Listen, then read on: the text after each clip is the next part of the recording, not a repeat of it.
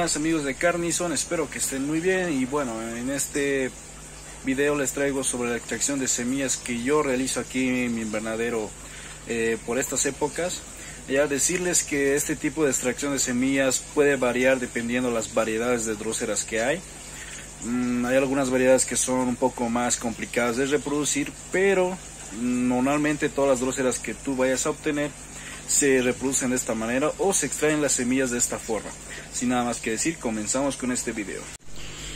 Pues mi gente, comenzamos con este video y bueno, vamos a presentar a las dróceras que yo tengo en el invernadero que bueno, no son todas las variedades que ya llegan a existir de por sí, pero bueno, son unas especies ya que he tenido buena experiencia con ellos y he logrado reproducirlos de manera exitosa. Por aquí tenemos a la drócera Burnami roja, tenemos a una drócera intermedia, esta es la típica, la de siempre, la que siempre van a encontrar aquí en, este lugar. Tenemos por aquí una drócera tocaensis con una drócera Burnami roja, diré Burnami, esta es Burnami normal. Ahí ven cómo es la Burnami. Dato curioso de las Burnami son que, bueno, estas variedad de dróceras llegan a atrapar más rápido y a comer más rápido a sus insectos o bueno a sus presas que iban a cazar. Es por eso que se bueno es una variedad muy interesante ya que muchas no tienen esa capacidad de velocidad de ataque no por ejemplo aquí cuando cae un insecto en menos de 5 minutos todas las agujitas de pegamento que ven aquí eh, van a pegarse en menos de 5 minutos. Y si comparamos con una Drosera capensis esto puede demorar hasta media hora. Ya, bueno, por aquí tenemos otra Drosera tocaensis. Drosera capensis, esta es la típica. Mm, desgraciadamente ya no tengo la variedad. Había una variedad más que no me acuerdo bien su nombre. Por aquí tenemos Drosera binata multífica y la Drosera binata normal. ¿Cuál es la diferencia entre la binata y la multífica? Pues que la binata puede multiplicarse hasta por 10 lo que sería la parte de la trampa. Aquí ven a esta multífica de tamaño juvenil que ya se llegó a multiplicar por 2 y bueno ahí es que llegan a crecer bastante bien también. Eso es eso también cabría ver. Es una variedad muy bonita. Y bueno por otro lado está esta que no se llega a multiplicar lo que es la parte de la trampa por aquí vean que este siempre va a ser como una U. Y de la multífica va a ser siempre una U y va a tener como resultado otras otros tentáculos a los lados. Es una variedad muy interesante. Bueno comenzamos. De todas estas especies la forma en la que yo extraigo sus semillas son de la siguiente manera. Bueno muchas de ellas van a sacarles un tallo floral a muy temprana edad. Ya primero va a estar así ya. En este punto mi recomendación es que no le toquen mucho a la planta. Vamos a ir subiendo. Y bueno va a empezar a sacar así sus tallos florales. Esta variedad no requiere polinización para nada. Eh, ya están polinizadas de por sí. Es un dato muy interesante.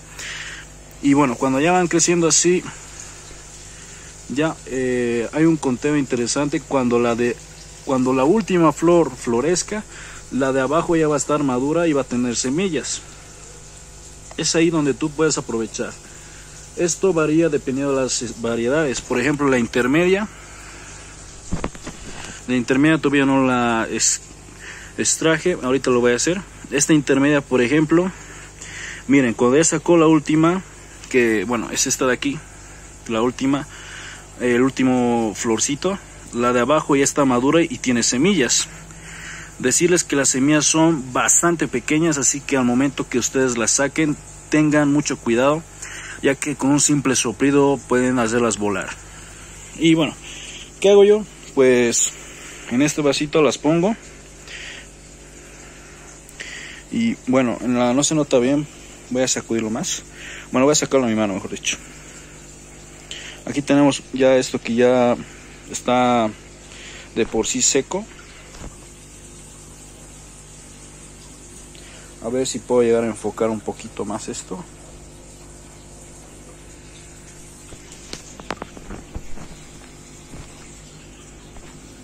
Ok.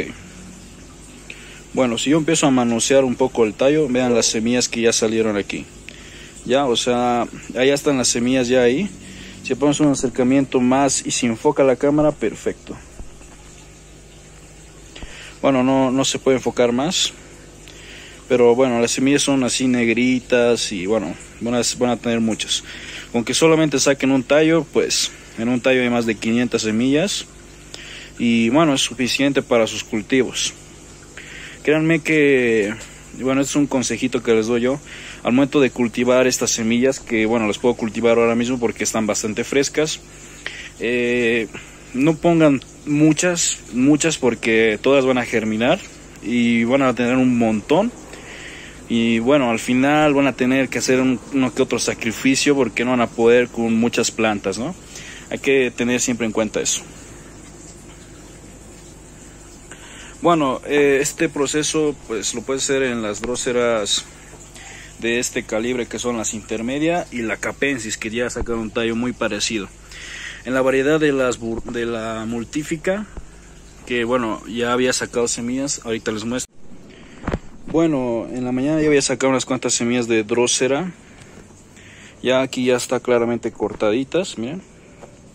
Y bueno, estas todavía faltan madurar, al igual que esta.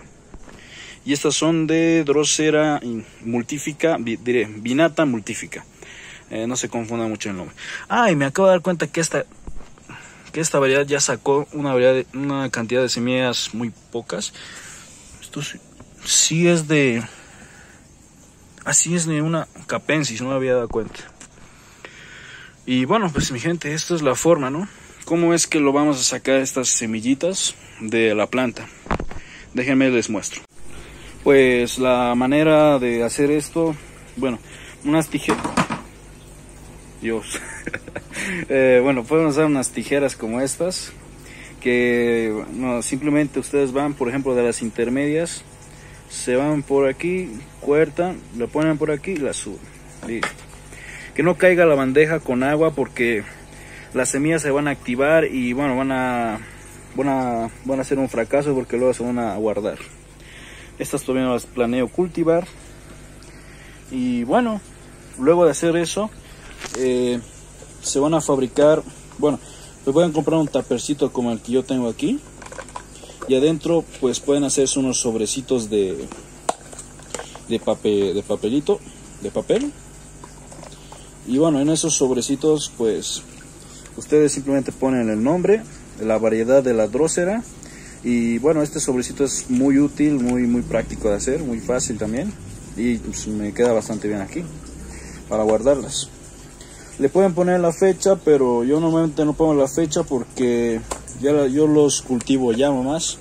Mañana pues habrá espacio y los voy a cultivar toditas. Y bueno, de las dróceras eh, intermedias también su sobrecito que está en mi bolsillo. Aquí está